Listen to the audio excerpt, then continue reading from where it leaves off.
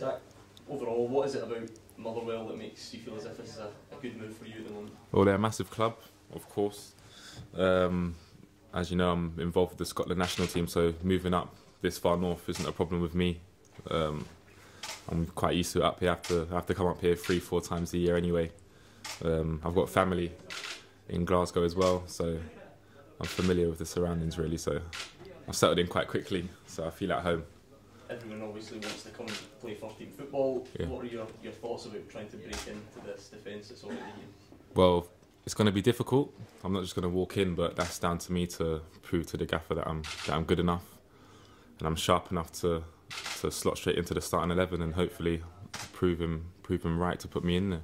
You'll even be training alongside a guy who's got quite a few caps at the heart of defence for Yeah. Scotland. Is that a good learning experience in itself? Yeah, definitely. It's just good to to to pick his brain and and um, speak to him about his experiences, and he can pass some good advice on to me to help my game. So so yeah, he's been good so far. Have you come across any of the guys up here from your, your time in Scotland? I'm not sure. Did you overlap with Chris Cadden? in any of Uh, yeah, I have in one of the squads. Um, I think it was one of the under twenty one squads. I think he was involved in. Um, but yeah, only once. So he's a familiar face. How long, how, long, how long have you been involved with the Scotland setup? Since? Um, since under 17s, I think it was when we went to. That was the squad that got to the semi-finals of the Euros. So and then yeah, since then Did you always, right through. did you always think that maybe you could come up here on loan? Is that something that's still in your mind? Yeah, I was always. I've never really, I've never really um, like crossed it out. I've always yeah, it's always been an option. So in the past, it hasn't really popped up. So but when it did, I just I jumped at it. Yeah, I mean that's the, is that the key? Obviously, if you get to the stage you want to be playing first team Yeah. Scotland. Yeah, that's all that matters at the moment. Just getting first team football and building my experience. So What did you make of the, the game on, on Saturday? Watching that very good standard of football. Two great teams, both play very good football. Um, tempo was very high. Um, fans very passionate, um, and that's what I want to be a part of. So I want to be I want to be um, playing in occasions like that. So hopefully I get the opportunity to do so.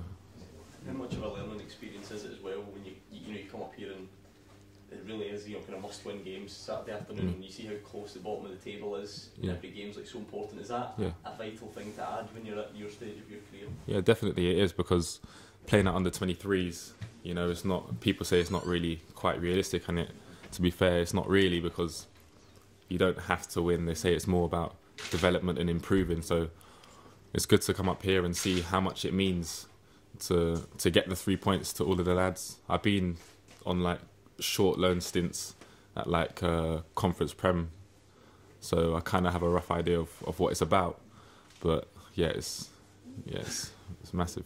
what were those loans like? then? what did you? What was? What did you experience? What kind of new things did you experience there? What did it open your eyes? Well, the difference was down there, they didn't really care about how you played. As long as you got the three points, that's all that matters. As far as they're concerned, you played well if you got the three points. So, so yeah, obviously I wanna I wanna perform to the best I can, but I also want to be part of a winning team. So if I'm in there, if I manage to get myself in there and we're winning, that's the most important thing.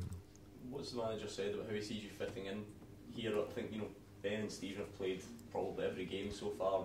What's he said to you about that challenge and, and perhaps where he sees you fitting into the team? Well, we just said I've got to stay patient. I've got to wait for my opportunity, and then hopefully it comes. So he feels from from what he said, it sounds like I, I may get an opportunity um, during my loan spell. So and when I get it, if I get it, it's down to me to keep my place. So it's all in my hands, really. You predominantly a centre half. Have you played Yeah. left back or is it? Uh, yeah, always been a centre half. I can play left back if need be, but it's not my it's not my first position. yeah. I mean, obviously they started off the game with three in centre Yeah. on Saturday. That give you a bit of encouragement as well? Yeah, definitely. I can play left of the free, in the middle of the free. So, so yeah, I'm all good. You, um, did you speak to Andy from the Scotland setup before you came up here, just to give them Um, advice what had happened a? Not really, not really. As soon as it came through, I was pretty, I was pretty confident I was going to make the move anyway. So, I know about the club. They're they're a massive club, so I didn't have to do too much research about the club. Yeah. So, yeah, I was I was happy to come straight up here and catch the flight the next morning. I think it during the time you've been League Scotland, under 17s, 19s, 21s, that you've spoken to a lot of other guys about football up here as well. is Yeah. What, what have they said about it? What have your impressions been of it before you came up? they've all had positive things to say. There's the likes of Greg Kiltie, he's at Kilmarnock playing, Aidan Nesbitt from Celtic, he's on loan at Morton, I think he is now. Ryan Hardie from Rangers, he's on loan. I think he, I think he's still at St Mirren. Not too. Oh, was he at Raith now? Yeah. So, yeah, they've been they've all been playing first team football uh, for a while now, and they've all had good things to say. They love it. They said there's nothing better than playing first team football. I just want to get a taste of that. Yeah. Does that make you a bit jealous when you come up and get something about that? it? A little bit, a little bit, but yeah, hopefully I get my chance now.